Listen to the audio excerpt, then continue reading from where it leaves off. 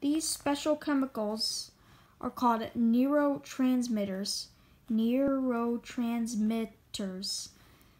If you look closely at the word neurotransmitters, you'll see how they got their name.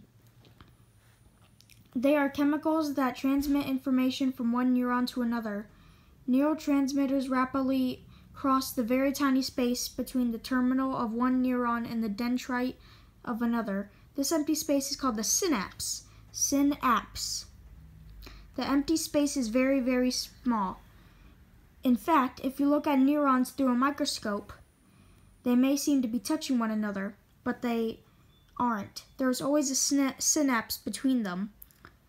The synapse acts as sort of a gatekeeper, letting necessary information cross to the next neuron and stopping any unnecessary information that your body doesn't need at that moment. So basically what you're learning right now goes through and it's transmitted with the neurotransmitters so that you get your things needed in your brain. Come on in. Stop right there. You are not necessary information.